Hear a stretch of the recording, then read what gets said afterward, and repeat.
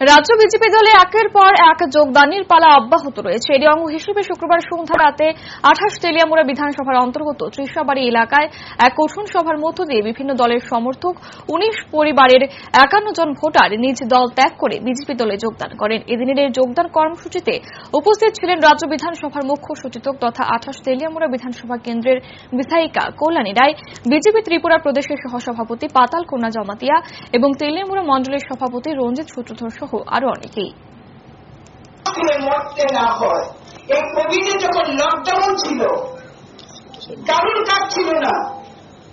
Lockdown office বন্ধ, আদালত বন্ধ, কলকারখানা বন্ধ, মানুষ বাড়ি থেকে বার হইত না, মুখে মাস্ক দিয়ে রাখতো, কারোর বাড়িতে কামলা গাছও রাখতো না কেউ মানুষ খাইব কি? প্রধানমন্ত্রী চিন্তা করছেন। যে মানুষটা বাঁচবে কি করে?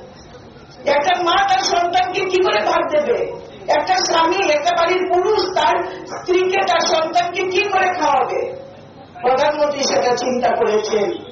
এই দেশের একশো সাঁত্রিশ কোটি মানুষের মধ্যে অর্ধেকেরও বেশি মানুষকে তিনি বিনামূল্যে মাথা পিছু পাঁচ কেজি চাল দিয়েছেন। যারা গরিব মানুষ।